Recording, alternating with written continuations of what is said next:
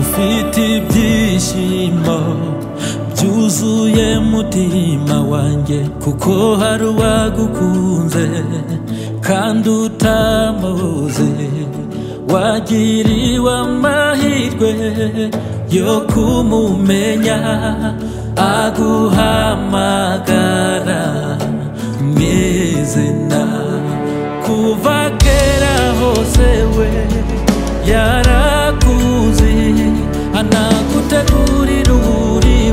it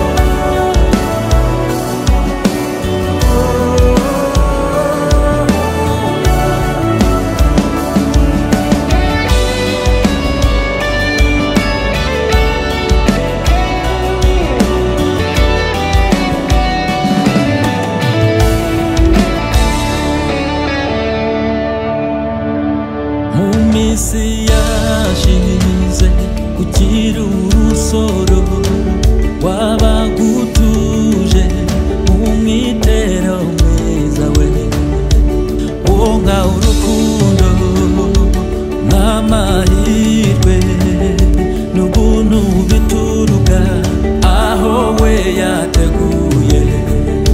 Imyaka n'ibihe birashize ejo bundi ni ho igihe cyageze agukurayo akohereza murezi kugira ngo ugaragaze imbaraga no kuwukira no kuvuga iby'ubugingo. Ubwira abantu ko igihe cyo gushumushwa zahabu